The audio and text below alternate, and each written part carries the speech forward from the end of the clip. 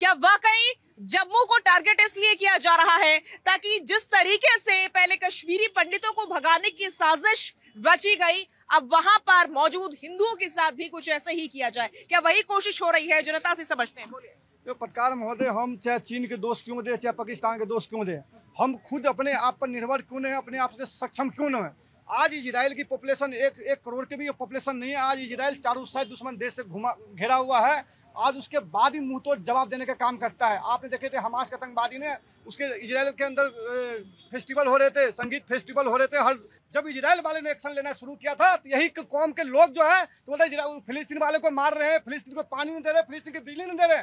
आज वही हालात जो हमारे पाकिस्तान का जो मुल्क है जो एक आतंकवादी अल्लाह की देन है ये कभी खत्म नहीं होगा इसको खत्म करने पड़ेंगे जो लोग इसको मानते हैं। हम कह रहे भारत सरकार को बिल्कुल हमारा जो पक्ष हो, विपक्ष हो, दोनों मिलकर के संसद में बात करके एकजुटता से आतंकवादी से लड़ने का काम करेंगे।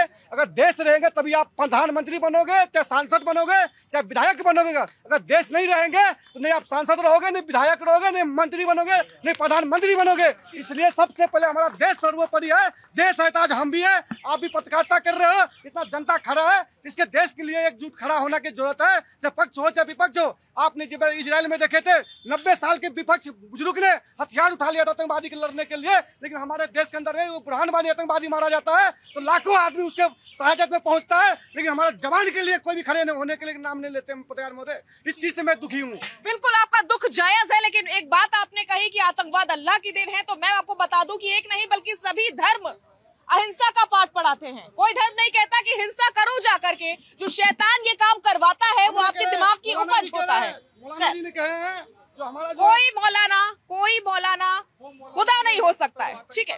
खैर बढ़ते आगे। देखो अभी जैसे बात कर रहे हैं कि पाकिस्तान भूखमरी भूखमरी मर रहा है ये हो रहा है और इधर बात कर रहे थे अभी इलेक्शन नज़दीक में आ रहे। तो इस तरीके की हरकतें होती है। लेकिन बात सही बोल रहे थे सुनो भाई एक मिनट। बात सही बोल रहे थे जब इलेक्शन नज़दीक में आता है या इलेक्शन पास में आ जाता है तो इस दिल्ली के अंदर स्कूल तक खाली कर दिए जाते हैं। एक आतंकवाद घटना को अंजाम देने वाली बात हो जाती है। जब केजरीवाल इक्कीस दिन के लिए यहाँ प्रचार करता है, एक भी अफवाह नहीं बचती क्योंकि गठबंधन के अंदर होता है, ना एक टिप्पणी करता। फिर दूसरी बात कहूँगा मैं, कि आज भुखमरी पाकिस्तान में दिखाई दे रही, लेकिन हमारे देश की जनता की परेशानी नहीं दिखाई दे रही विपक्ष को। मैं इसलिए कह रहा हूँ कि हमारा विपक्ष इतना बेकार और इतना निकम्मा है कि आज तक उसका एक भी बयान आतंकवाद के विरोध में नहीं आया। आज तक भी आतंकवाद के विरोध में नहीं बोला। अगर कोई भी कोई भी चीज़ आज तक बोली हो तो ये सारी की सारी चीज़ें देखने वाली बात है क्योंकि आज आज संसद में एक उठाई गिरा आगे संसद में एक उठाई गिरा आगे फिलिस्तीन के नारे लगा के निकल जाता है लेकिन इनकी जबान बिल्कुल सिल जाती है। तो तो आप ओवैसी की बात कर रहे हैं। बिल्कुल ओवैसी की बात कर रहा हूँ लेकिन ओवैसी की ओवैसी को। सांसद है शायद। मैं ये कह रहा हूँ। आप कह रहे उठाए गिरा। हाँ उठाए गिरा यही ही। अगर जो आदमी संसद के अंदर इस तरीके की की बातें करता है तो उठाई गिरा होता है वो। तो आज आज दूसरी बात। तो ये आतंकवाद जब तक चलता रहेगा सुनो। भारत के अंदर आतंकवाद जब तक चलता रहेगा जब तक हमारा विपक्ष आतंकवाद का विरोध नहीं करेगा तब तक आतंकवाद चलता रहेगा। अच्छा ठीक है। और जनता से बात करते हैं यहाँ पर। जनता क्या बोलना चाह रही है? बोलिए। देखिए मैम देश की सुरक्षा सबसे पहले। देखिए, हमारे पास में उदाहरण है।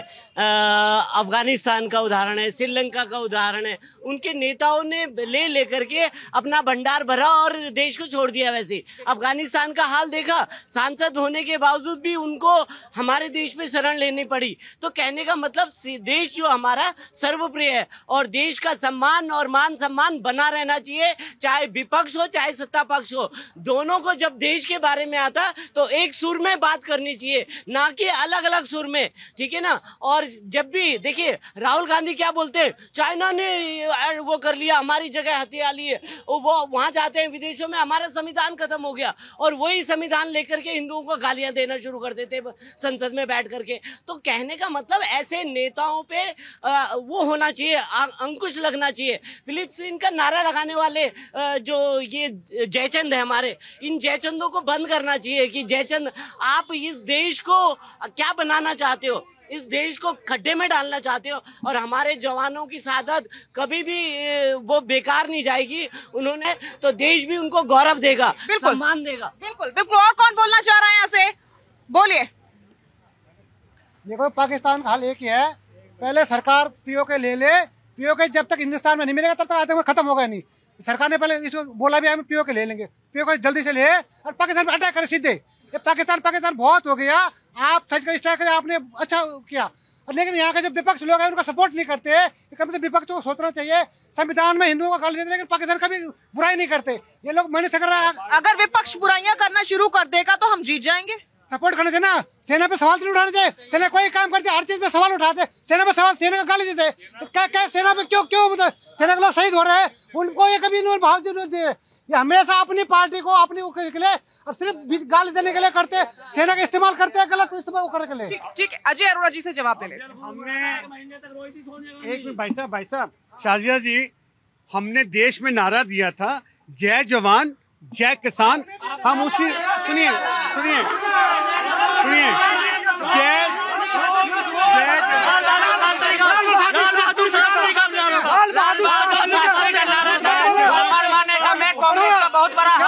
तो मना कर रही है कि लाल बहादुर शास्त्री का नारा था कांग्रेस का नहीं सैनिकों की शहादत में ये बोल रहे हैं, भारतीय जनता पार्टी के नेता बोल रहे हैं, ये ये बोल रहे हैं, हमने तो शुरुआत में कहा था, हम देश के साथ हैं, हम तो अमित शाह जी से क्यों बोला उसको?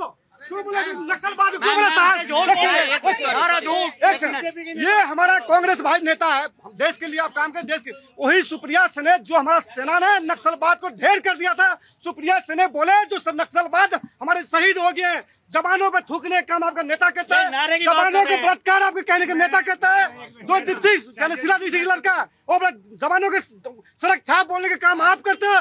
फारूक अब्दुल्ला उस आतंकवादी के समर्थन करता है बुरहान वानी के समर्थन करता है। और जब एयर स्ट्राइक होती है तब भी सवाल करते हैं। शाजिया जी एक तो होता है पेट में दर्द एक होता है ज़बरदस्ती का दर्द। इन पे ज़बरदस्ती का दर्द हर डिबेट में आते हैं। ये हर डिबेट को खराब करते हैं। आप चैनल रिवाइंड आम जनता है हो सकता है आसपास में काम करते हो आ जाते हो अपनी बात हर रखने। हर डिबेट को खराब करते हैं। मैंने शुरुआत में कहा था कि हम देश के साथ हैं।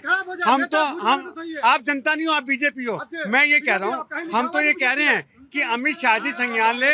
ये ज़िम्मेदारी देश के गृह मंत्री की है। देश के गृह मंत्री संज्ञान ले। हम अपील करते हैं ये इंटेलिजेंस का फेलियर है। ये कश्मीर टू जम्मू हुआ है। इंटेलिजेंस फेलियर है भारत का। हमारे ब्यूरोक्रेट अजय अरोड़ा जी आप मुझे बताइए कि आपके कार्यकाल के दरमियान क्या एक भी आतंकी हमला नहीं हुआ? हमने मना किया। हमने मना किया। हमने मना किया। हम तो कह रहे हैं आतंकवाद की निंदा करते हैं। हम तो कह रहे निंदा हैं करने से निंदा करने से काम चल जाएगा। अरे हमने तो स्वर्गीय इंदिरा गांधी को खो दिया। हमने तो देश की प्रधानमंत्री खो दी। हमने राजीव गांधी खो दिया। ये दर्द हमसे पूछिए। हमने राजीव गांधी खो दिया। स्वर्गीय राजीव गांधी। देश के प्रधानमंत्री हमें दर्द होता है। हमें दर्द होता है। हम खिलाफ हैं। हम आतंक के खिलाफ हैं। नहीं आपने कहा कि अभी पूरी तरीके से इंटेलिजेंस फेल्योर है। उस जमाने में जब आपका कार्यकाल था तब इंटेलिजेंस फेल्योर नहीं था। अगर फेलियर ना होता तो क्यों मारे जाते देश के प्रधानमंत्री? आज वही फेलियर दोबारा हो रहा है। ये रिपीट नहीं होना चाहिए। मैं अमित शाह जी से अपील करता हूँ ग्राम ये रिपीट ना करें। एक मिनट आप चुप हो जाइए मुझे पता बहुत जनता कह रही है सांप को दूध पिलाओगे तो काटेगा ही। शुरुआत आपकी ओर से हुई थी हमने सांप को दूध नहीं पिलाया। सांप को दूध पिला रही है भारतीय जनता पार्टी। चाइना से कितना इंपोर्ट कर रही है बताओ। चाइना दुश्मन ने कितना इंपोर्ट किया। चाइना से कित पूरी मार्केट आपने आपने चाइना के राष्ट्रपति चाइना के नेताओं साथ राहुल गांधी और सोनिया गांधी की तस्वीरें देखी हैं? देखिए हमने झूला नहीं झुलाया। शाजिया हमने जी क्या कह मिलते हैं। देखिए अजय अरोड़ा जी ने अजय अरोड़ा जी ने अपने ओपनिंग रिमार्क्स में बहुत गलतियाँ की हैं। देखिए मैं बताता हूँ। सबसे पहले यही इनकी इनकी कांग्रेस पार्टी के नेता मणिशंकर अय्यर इन्होंने बोला प्रधानमंत्री तो प्रधानमंत्री की हैसियत से पाकिस्तान गए थे और प्रधानमंत्री से मिलने गए थे पाकिस्तान के से। इनके मणिशंकर ये अय्यर किस हैसियत से पाकिस्तान जाके ये बोलते हैं कि भाजपा को हटाने में हमारी मदद करो।